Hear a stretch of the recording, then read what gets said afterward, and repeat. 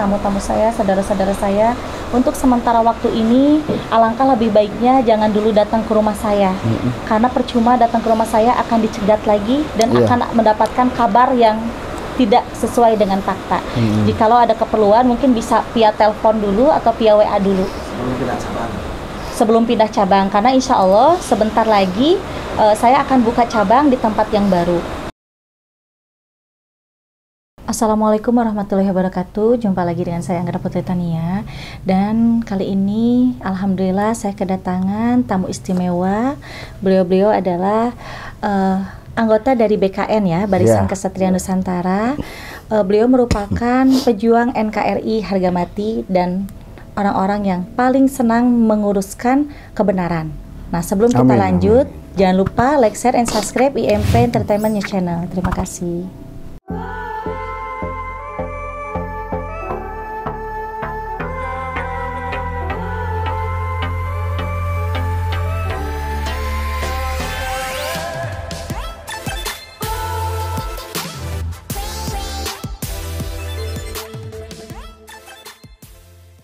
Ya sahabat IMP, kebetulan tadi malam ya eh, anggota dari BKN datang mau silaturahmi ke sini dan ada yang ingin ditanyakan ya Dea. Iya. Nah mungkin kita langsung aja ke ya ke Kiai Haji Ismail. Silahkan deh. Aduh, sebenarnya belum jadi kiai haji nih, tapi amin aja lah. nah, kan sebetulnya kan saya dengan bapak-bapak ini kan memang dari BKN kami ya. Kebetulan suaminya Teh Anggra ini adalah salah satu dewan penasihat di BKN Barisan Kesatria Nusantara Haji Agam. Tujuan kita datang ke sini sebetulnya hanya untuk silaturahim.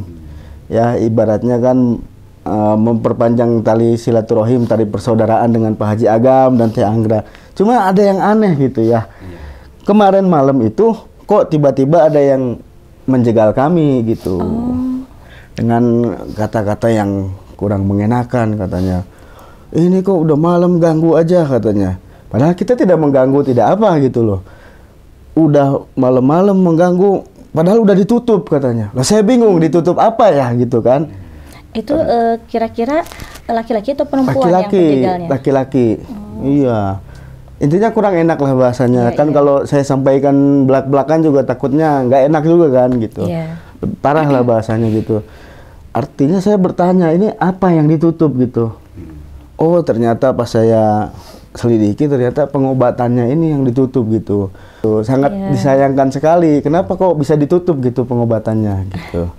Jadi gini, eh, sebenarnya pengobatan ini kan sudah berjalan kurang lebih satu tahun. Mm-mm. Bahkan pada saat eh, pengobatan tradisional ini dibuka, sebenarnya nggak ada masalah baik dengan ketua RT, ketua RW, warga dan juga kepala desa. Tetapi akhir-akhir ini kurang lebih di bulan November adanya kekisruhan kalau menurut saya. Jadi gini, eh, teteh itu kan buka pengobatan tuh seminggu dua kali ya. Iya. Alhamdulillah gitu tamu Hari dari mana. apa itu biasanya? Pada saat itu Senin dan Kamis. Senin, Kamis. Ya. Waktu itu rame tamu tuh. Bahkan dari satu tahun ini setiap hari Senin dan Kamis tuh tamu banyak yang datang Mm-mm. dari mana-mana. Nah kan dulu mah di sini tuh ada yang jualan ya. Iya. Ada yang iya, jualan betul. air, ada yang jualan telur, ada yang jualan harupat.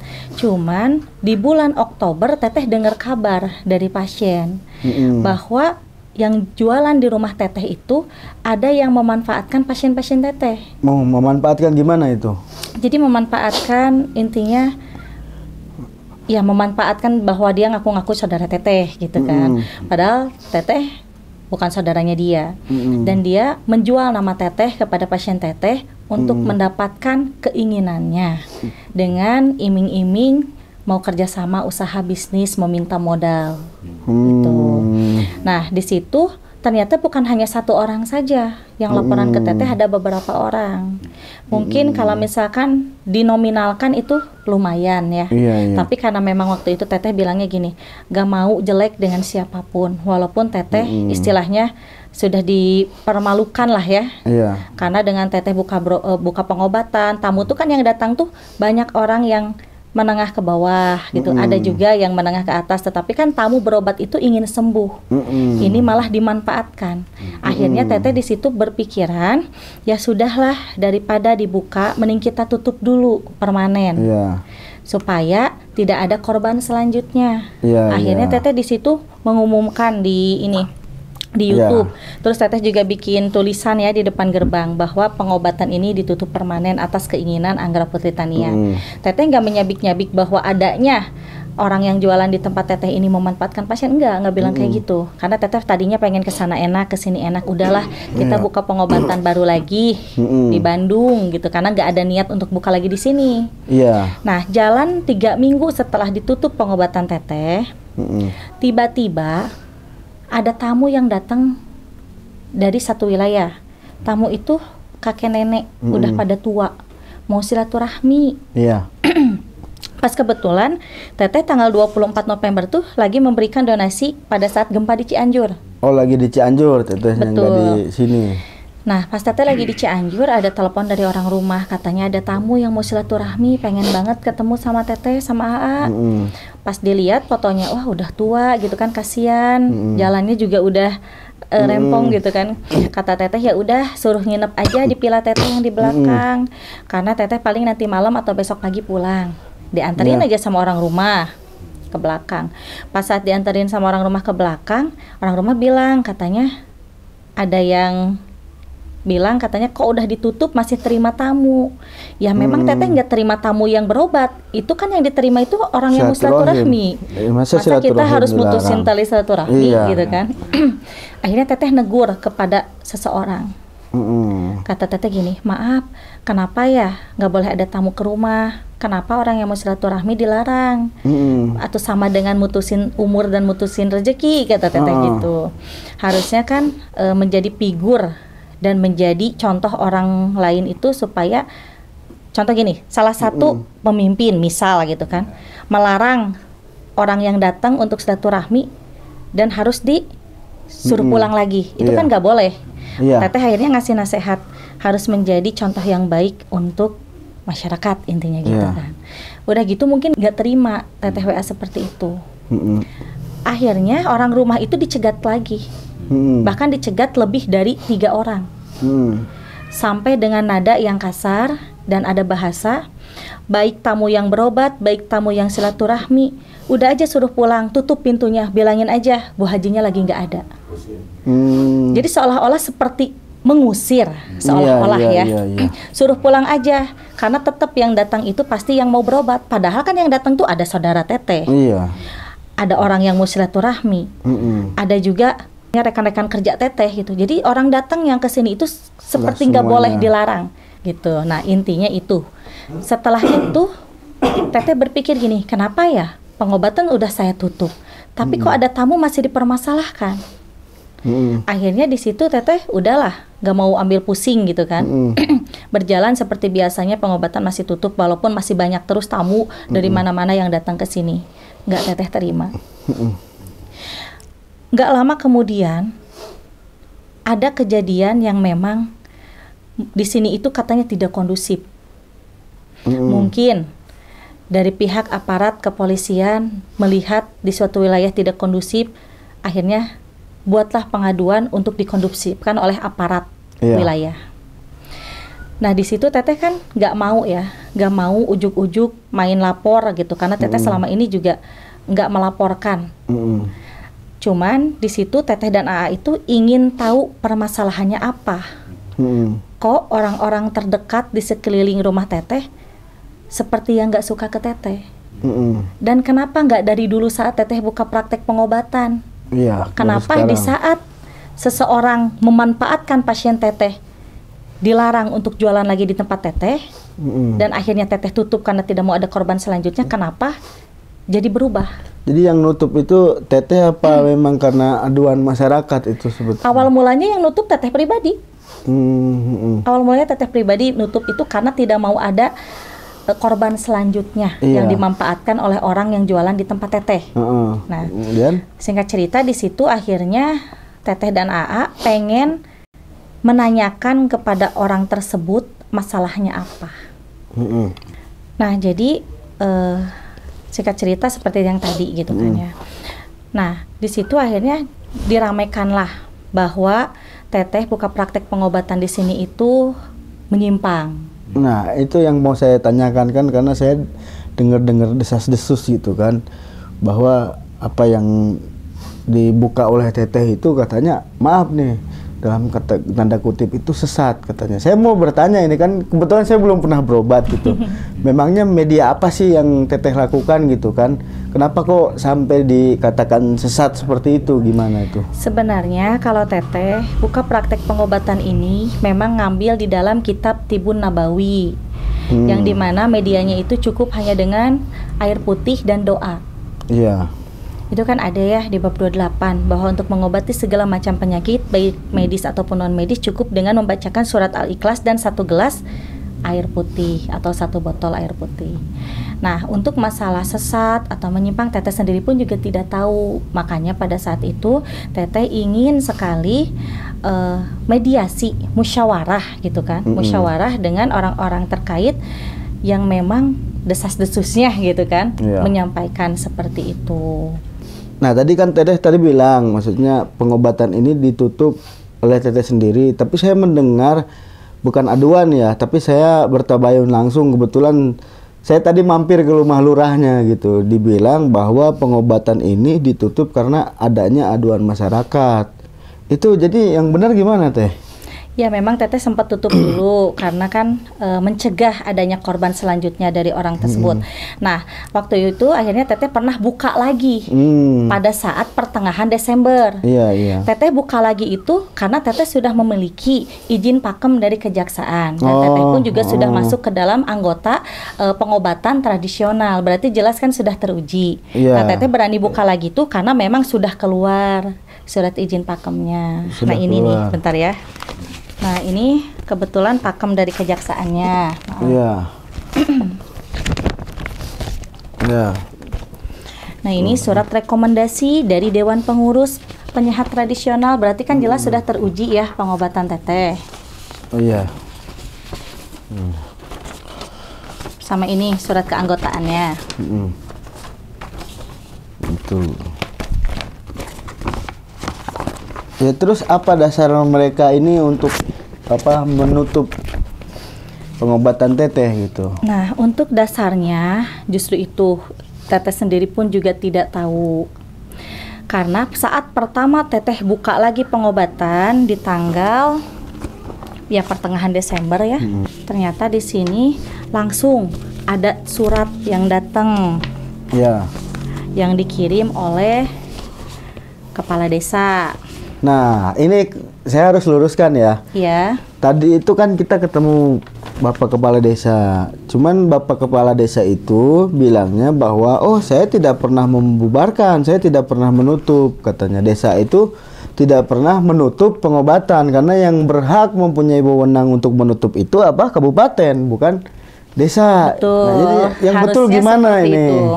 Nah, Teteh buka itu tanggal 16 Desember ya. Mm-mm. 2022 buka lagi. Iya. Karena Teteh sudah memiliki izin pakem dan surat keanggotaan. Mm-mm.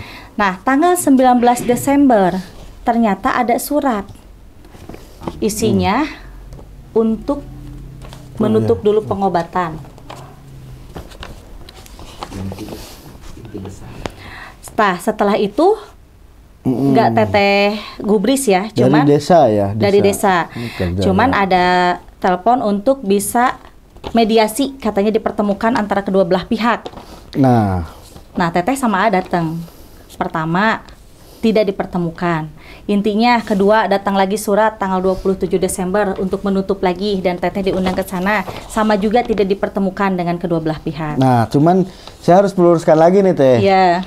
Tadi itu Pak Kades bilangnya itu bahwa Teteh dan AA tidak memenuhi undangan. Katanya sudah tiga kali ya tidak memenuhi undangan. Jadi yang Enggak. benar tuh gimana teh? Saya bingung ini. Satu kali undangan dari beliau kami datang. Tetapi kami nunggu tiga jam di kantor desa, ternyata tidak dipertemukan juga dengan kedua belah pihak. Yang kedua kali, Teteh dan A juga sama datang. Akhirnya sama juga tidak dipertemukan dengan kedua belah pihak. Mm-mm. Yang ketiga surat datang tanggal 2 Januari. Kebetulan sebelum surat ini ada datang ke rumah, Teteh Dana udah bilang kepada kepala desa bahwa Teteh Dana akan pergi keluar kota Mm-mm. untuk beberapa hari. Terus kata kepala desa ya nanti untuk pertemuan selanjutnya dengan kedua belah pihak akan kita atur ngikuti jadwal Teteh Dana. Mm-mm. Ternyata tidak. Di saat Teteh sudah ada di luar kota, ada kabar Mm-mm. bahwa ada surat undangan. Jelas Teteh Dana tidak bisa memenuhi undangan tersebut. Mm, Soalnya di luar kota ya, ya. isi undangannya itu musyawarah berita acara. nah, tanggal 4 Januari sore Mm-mm. datang lagi surat pemberitahuan hasil musyawarah Mm-mm. di kantor desa bersama tokoh-tokoh yang dicantumkan di dalam surat tersebut ya. Dan hasilnya adalah memberhentikan aktivitas kegiatan praktek pengobatan Anggra Putri Tania. Mm-mm. Ini sebagaimana hasil musyawarah dituangkan dalam berita acara di tanggal 4 pagi, tanggal 4 sore. Surat ini keterima oleh adik saya. Mm-mm. Nah, di sini akhirnya saya merasa didiskriminasi. Iya. Karena kenapa harus saya yang ditutup sedangkan orang lain enggak?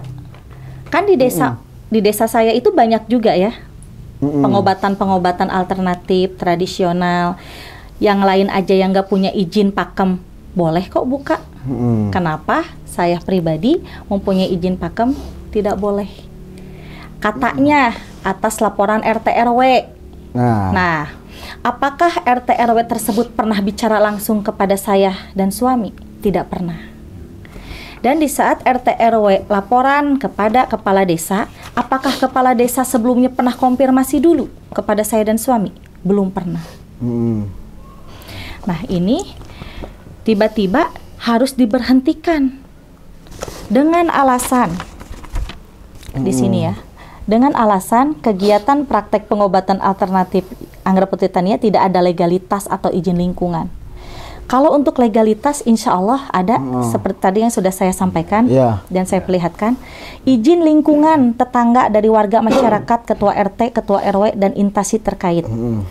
Instansi dari pihak polsek tahu adanya pengobatan Mm-mm. setiap seminggu dua kali. Dari kepala desa sendiri tahu, bahkan kepala desa sendiri bilang tidak meresahkan dan tidak ada yang dirugikan. Nah itu tadi bilangnya kan Nah, tidak eh, kondusif. Nah saya ingin dari tanya. ketua RW, kan ketua RW sendiri yang suka memanage dalam pengobatan saya yang ngatur parkiran. Adiknya RW sendiri juga yang jualan di tempat saya, jualan telur dan harupat. Ponakannya RW juga yang jualan air ijaura yang memanfaatkan pasien saya. Mm. Ketua RT mengetahui adanya pengobatan ini. Bahkan kita sudah bicara dengan mereka dan mereka tidak keberatan sebelumnya. Iya. Nah, terus di sini poin kedua, spesi- spesifikasi kegiatan praktek pengobatan yang tidak jelas. Yang tidak jelas itu yang seperti apa?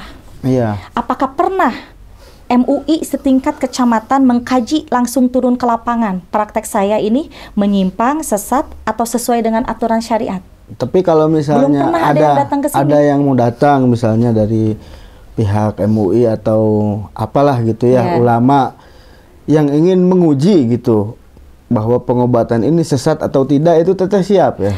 dengan senang hati. Bahkan saya pun minta pada saat pertemuan kedua di desa kepada kepala desa, kepada BPD dan juga kepada MUI tingkat desa. Saya minta kalaupun misalkan pengobatan saya harus ditutup, yang berhak dan berwenang menutup itu adalah MUI.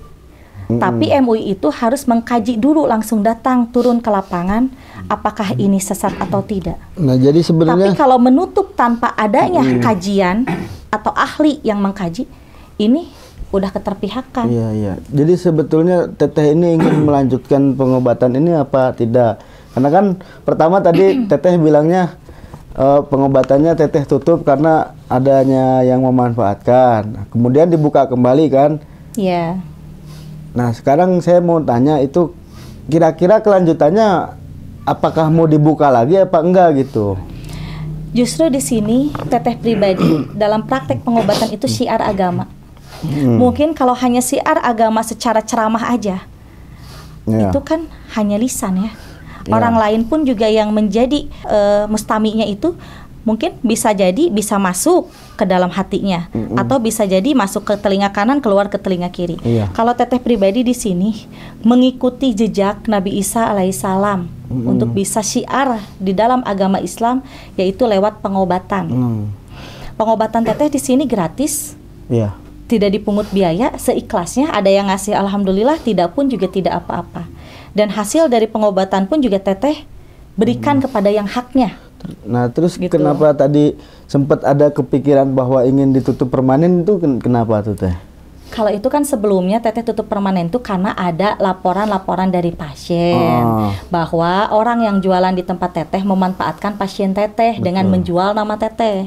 Karena teteh tidak mau ada lagi korban selanjutnya, teteh tutup permanen dan akan pindah pengobatan Oh. teteh ke Bandung. Oh. Cuman karena ada dari seseorang yang bilang udahlah buka lagi nggak apa-apa, ada percuma ditutup juga tetap masih dipermasalahkan Oh, katanya gitu. iya. Ya udah nggak ada salahnya kita syiar sesuai ajaran Iya, iya. yaitu kita membuka praktek pengobatan dengan ikhlas gitu. Mm-mm. Nah di saat buka lagi pengobatan yaitu sampai turun tiga kali surat dari desa untuk memberhentikan pengobatan teteh dengan alasan adanya laporan dari RT RW karena Hmm. di wa- di daerah teteh tidak kondusif. Nah masalah tidak kondusif teteh juga sampai sekarang masih belum ngerti tidak kondusif seperti apa. Artinya sebenarnya dalam pribadi Teteh sama A itu pengen ya dipertemukan sama masyarakat yang kontra itu, cuman mereka yang nggak mau ya. Ya, jadi sudah berusaha teteh sekali dua kali gitu kan, tetapi tidak mau dan tidak dipertemukan.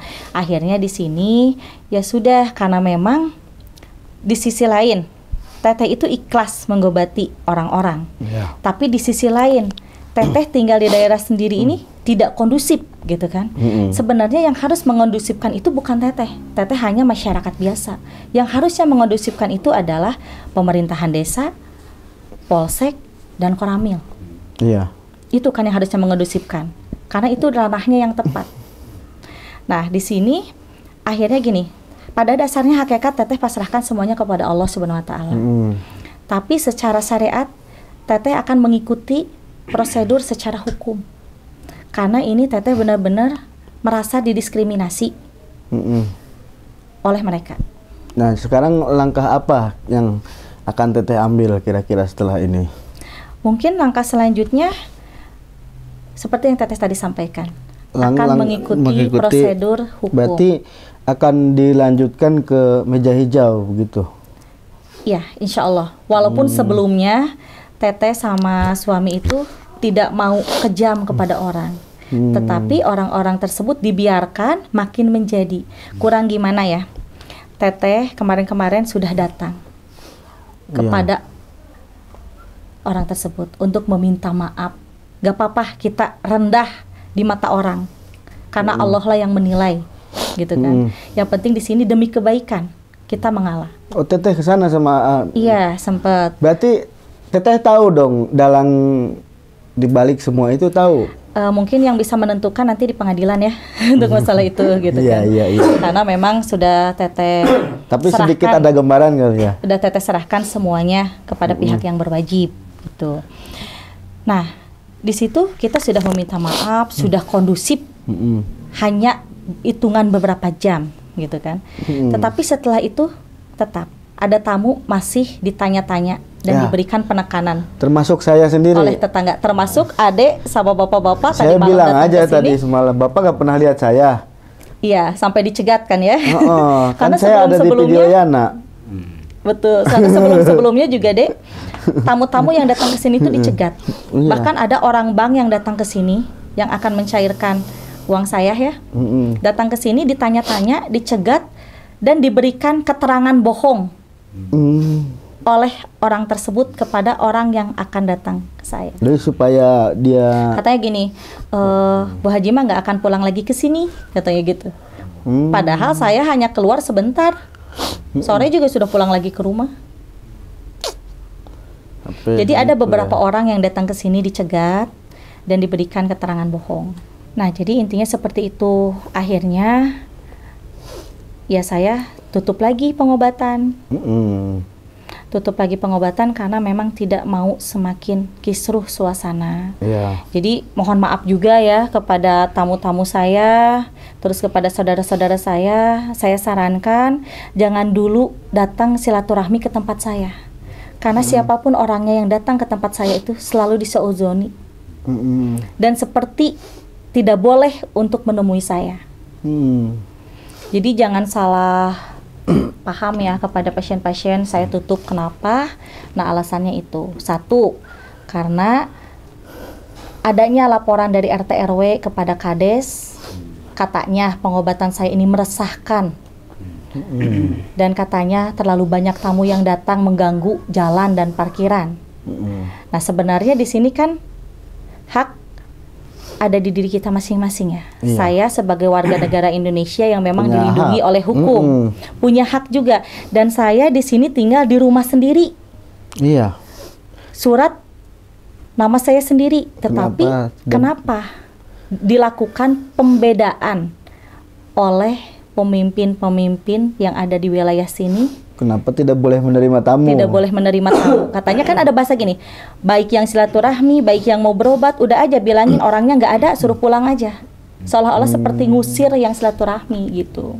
Mm-mm. Dan salah satunya tadi ditutup itu karena memang takut ada korban selanjutnya yang akan Mm-mm. dimanfaatkan lagi oleh orang-orang yang tidak bertanggung jawab. Nah, saya saya curiga ini, ya maksudnya apakah memang beda pemahaman dengan teteh orang-orang sini itu apa gimana gitu? Misalnya dalam segi akidah gitu atau dalam segi pemahaman agama itu beda apa gimana itu? Kalau untuk masalah itu Teteh tidak pernah mempermasalahkan ya. Mm-mm. Bahkan Teteh tidak mau berlanjut masalah ke akidah. Karena kalau misalkan akidah itu sesuai dengan keyakinannya masing-masing. Yang Iya. jelas kan tujuannya satu hanya kepada Allah. Mm-mm. Cuman Teteh di sini intinya ingin menemukan keadilan yang sebenar-benarnya. Iya. Nah, jadi gini, Teteh diturunkan beberapa kali surat ya dari desa ya Mm-mm. untuk menutup pengobatan ini. Sedangkan di desa sini saja banyak orang yang Mm-mm. seperti Teteh.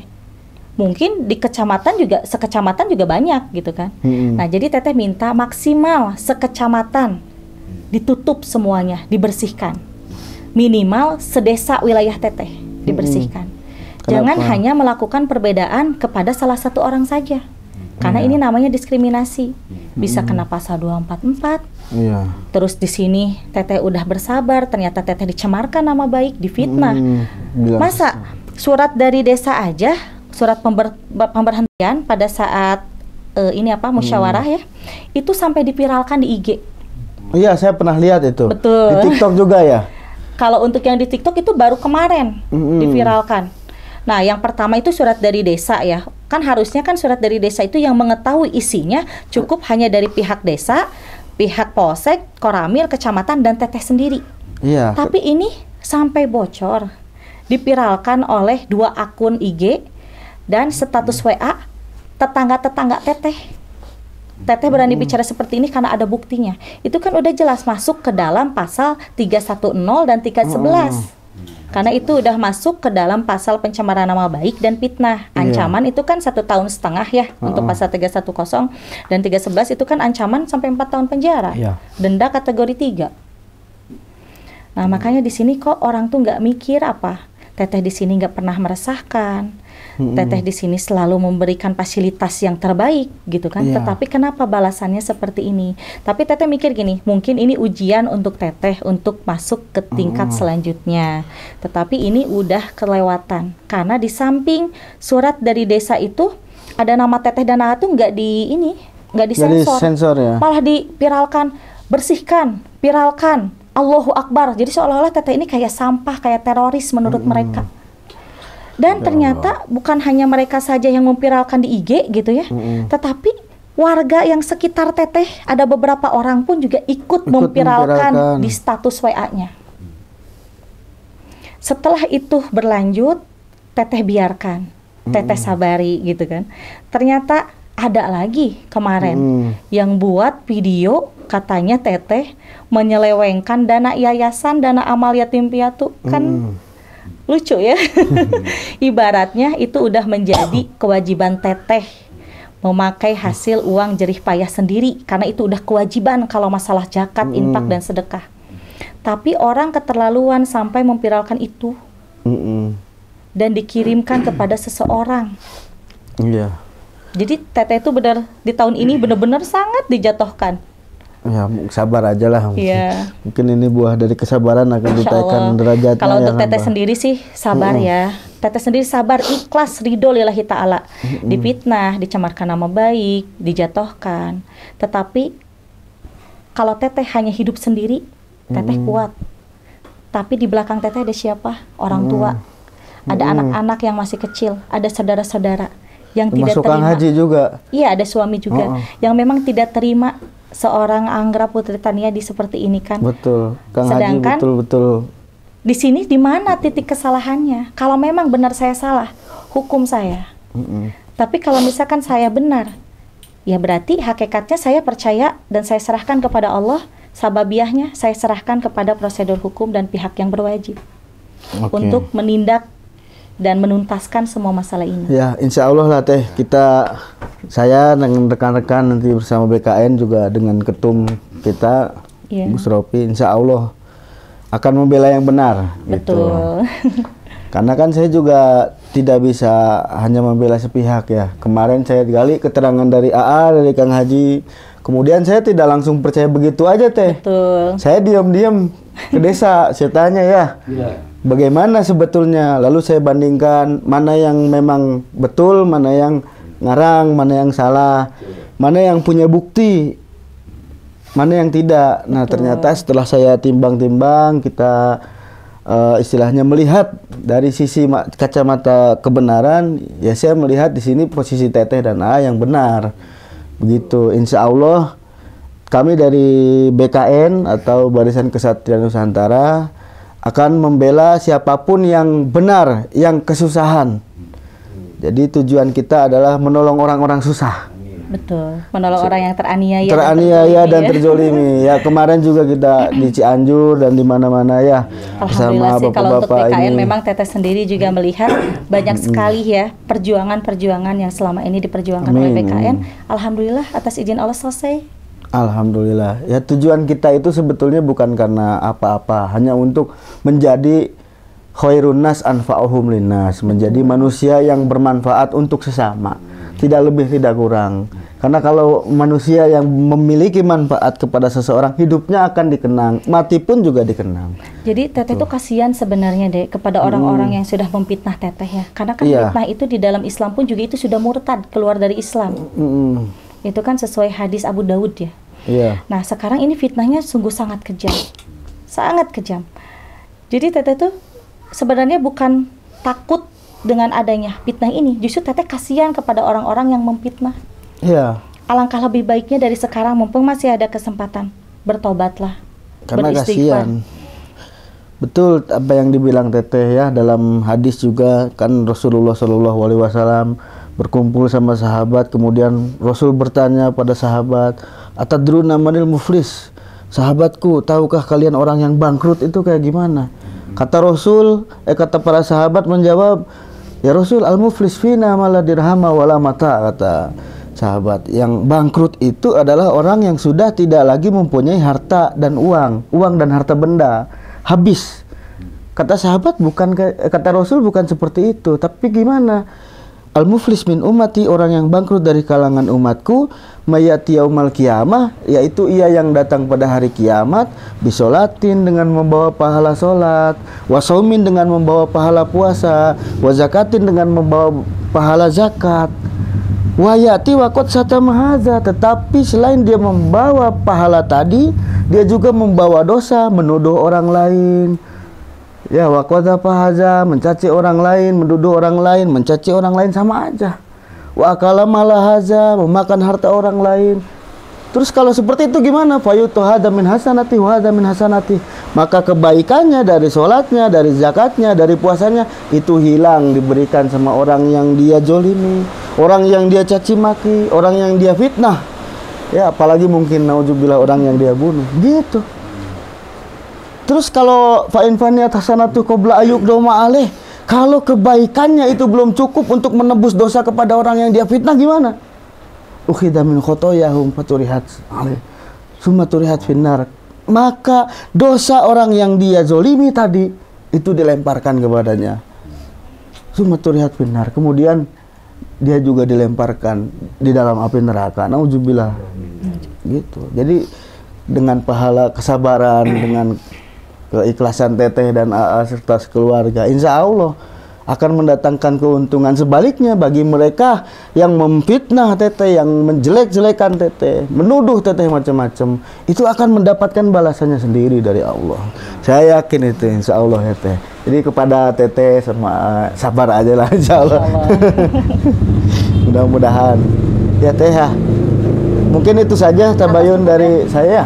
Ya, sahabat GMP, eh, mungkin cukup sekian ya dari kami Iya. ya. Jadi sekali lagi nih saya mohon maaf kepada semua pasien-pasien saya, tamu-tamu saya, saudara-saudara saya untuk sementara waktu ini alangkah lebih baiknya jangan dulu datang ke rumah saya. Karena percuma datang ke rumah saya akan dicegat lagi dan Iya. akan mendapatkan kabar yang tidak sesuai dengan fakta. Mm-mm. Jikalau ada keperluan mungkin bisa via telepon dulu atau via WA dulu sebelum pindah cabang karena insya Allah sebentar lagi eh, saya akan buka cabang di tempat yang baru. Jadi untuk semua pasien kita sama-sama berdoa untuk semua sahabat IMP juga kita sama-sama berdoa mudah-mudahan masalah yang sedang saya alami ini cepat terselesaikan. Mungkin kami pamit undur diri ya. Insya Allah ke depannya kita akan membahas lagi Hmm. tema yang lain. Wassalamualaikum warahmatullahi wabarakatuh. Waalaikumsalam warahmatullahi wabarakatuh.